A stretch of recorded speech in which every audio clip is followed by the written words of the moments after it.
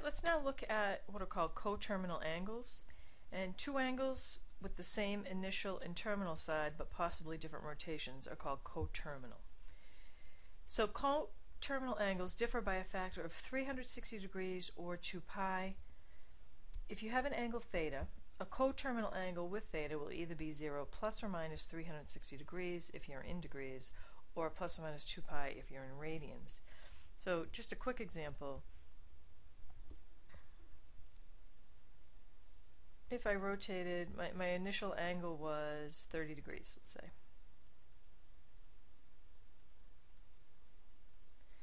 So a coterminal angle will have the same initial side and also the same terminal side. So if I rotate around one more time, that's going to be the original 30 degrees plus another 360. So that would be 390 degrees. So 30 degrees and 390 degrees are considered coterminal. And they can be positive or negative. If we had, say we went up and rotated pi over 4, that would be one angle. If I wanted to find an angle that's coterminal with that one, I have the same initial side. So from pi over 4, I would be adding so my my coterminal angle would be pi over 4 plus 2 pi, or pi over 4 plus 8 pi over 4,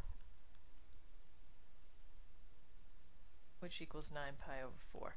So the second angle here is 9 pi over 4. They both have the same initial side, they both have the same terminal side, but certainly the measure of those angles are different. So let's look at example 5 says, assume the following angles are in standard position. Find a positive angle less than 360 that is coterminal with each angle. And so if you want to find an angle that's coterminal, you would either add or subtract multiples of 360. So for 420, if I want to find a coterminal angle that's less than that, I would just subtract 360 degrees which gives me 60 degrees. So that gives me a positive angle that is coterminal with the given angle.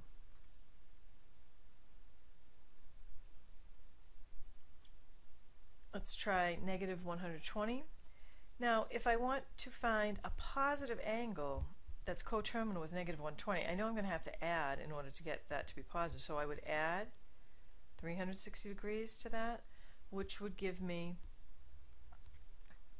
a positive 240 degrees. So 60 degrees and 420 are coterminal. Negative 100, negative 120 degrees and 240 are also coterminal. Alright, let's go back to part A. What if we wanted to find a negative angle that's coterminal with 420? Well, I already have 60 that's coterminal, so I could just subtract 360 to generate another coterminal angle, which would give me negative 300 degrees. Same thing here. Um, if I have, for negative 120, I've already generated a positive coterminal angle by adding 360. If I want to generate a negative, I would have to subtract 360. That would give me negative 100, uh, 480 degrees. So pause the video and you try part C and D.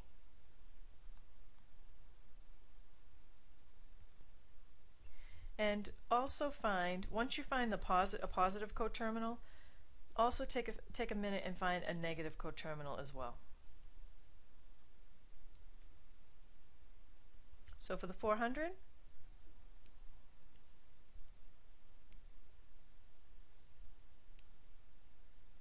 I'm going to subtract 360 to find a coterminal angle. 400 minus 60 is 40 degrees, so that's one coterminal angle, and that's positive. If I want to find a second coterminal angle, I would subtract 360.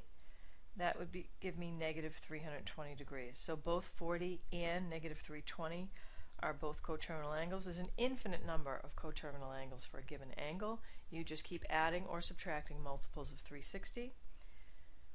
For the last one, if you want to get your positive, you would add 360 degrees. That would give you 225 degrees. If you wanted to find your negative coterminal angle, you would subtract 360 from the negative 360 and that would give you negative 495. Right, so if we want to find coterminal angles when we are in radians, like this next example, we're going to have to add or subtract 2 pi, or multiples of 2 pi.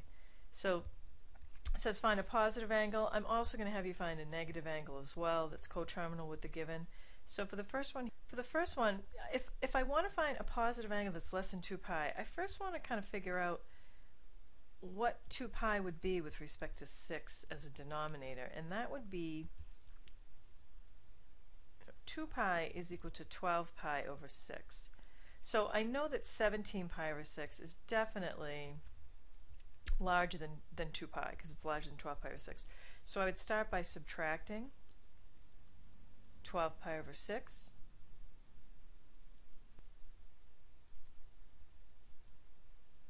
And that would give me 5 pi over 6.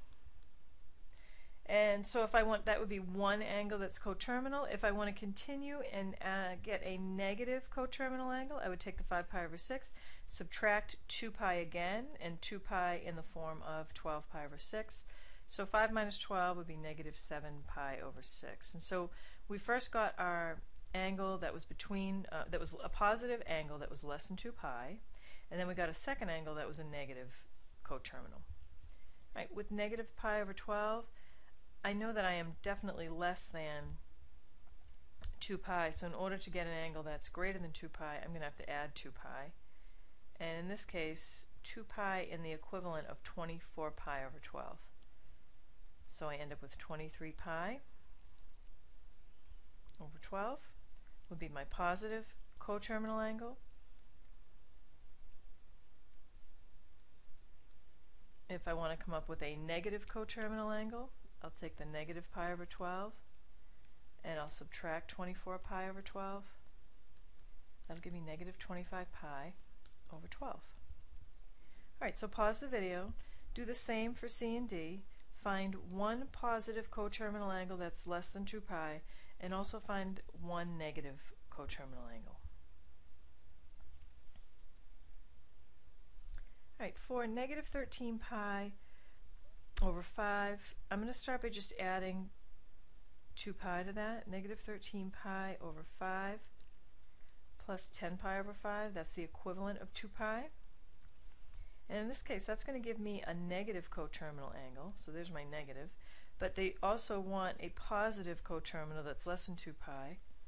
I'm going to add 10 pi over 5 again, just adding another multiple of 2 pi, and that gives me 7 pi over 5. So these are both angles that are coterminal with negative 13 pi over 5. They're also in fact coterminal with each other, so they have the same initial side and the same terminal side. Last one, negative pi over 15. I want to add 2 pi with a denominator of 15, so that would have to be 30 pi.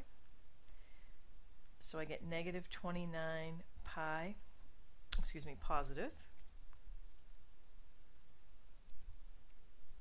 29 pi over 15. And if I want to find a negative coterminal, I take the negative pi over 15 and I subtract the 30 pi over 15, which gives me negative 31 pi over 15. And here's your positive coterminal angle, here's your negative. And again, since 30 pi over 15 is equal to 2 pi, you can see that this is less than 2 pi.